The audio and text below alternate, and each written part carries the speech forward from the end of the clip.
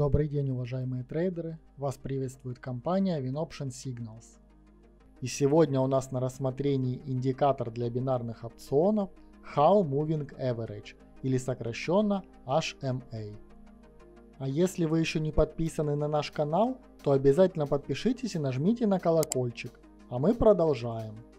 Индикатор HMA, который еще называется скользящий хала, является аналогом индикатора простой скользящей средней, но при этом имеет более усовершенствованный алгоритм построения, что дает еще более лучшие результаты при его использовании.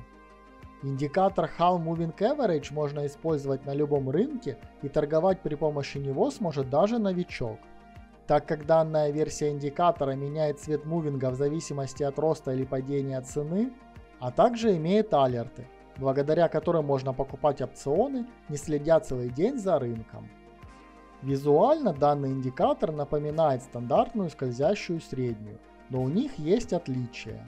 И суть алгоритма работы скользящей хала заключается в том, чтобы усреднить стандартную SMA, используя при этом не сам период мувинга, а специальную формулу расчета.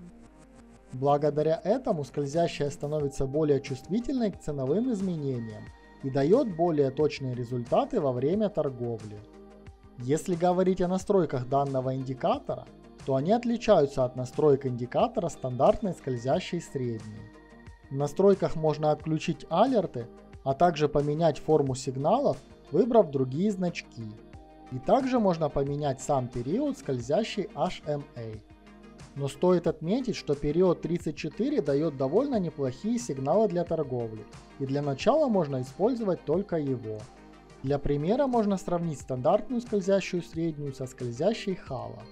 Для этого нанесем простую скользящую и добавим период 34, как и в HMA. И как можно видеть, за счет специальной формулы, которая сглаживает HMA, сигналы генерируются намного чаще, а также можно видеть, как HMA показывает коррекции, которые абсолютно незаметны при использовании простой скользящей средней.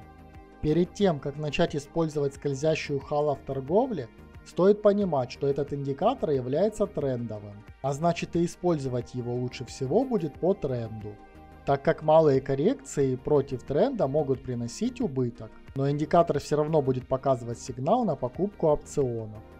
Также стоит знать и о некоторых минусах индикатора HMA.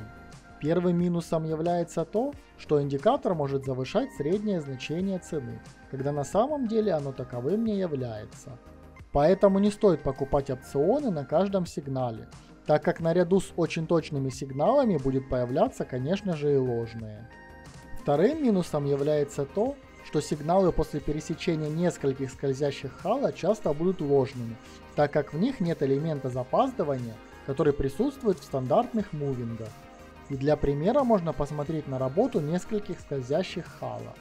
Для этого удалив с графика простую скользящую, поменяем параметр данной скользящей, к примеру, на 18 и добавим еще одну скользящую с параметром 8.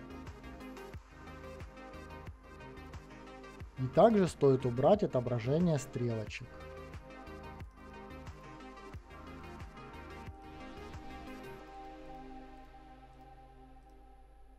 И увеличив масштаб можно увидеть, как множество пересечений скользящих не будут работать, так как повышенная чувствительность индикаторов приводит к постоянным пересечениям, которые являются почти всегда ложными, так как появляются даже на самых малых коррекциях. Говоря о правилах торговли по данному индикатору, становится понятно, что использовать стоит стрелочки. И для покупки опционов Call нам необходимо, чтобы появилась синяя стрелочка, направленная вверх, а для опционов Put нужна розовая стрелочка, направленная вниз. Экспирацию для покупки опционов стоит рассматривать в 5 свечей. И также важно помнить, что еще одним правилом для покупки опционов по данному индикатору является наличие тренда. И для закрепления понимания правил торговли рассмотрим несколько участков для разных типов опционов. В данном случае у нас есть явный восходящий тренд, а значит можно рассматривать покупку опционов Call. И как только появляются сигналы от индикатора, можно входить в сделку. Дожидаемся закрытия сигнальной свечи и покупаем опцион. И как можно видеть, в четырех сделках подряд можно было бы получить прибыль. А две данные сделки стоит игнорировать, так как еще было неизвестно, пойдет ли движение вверх.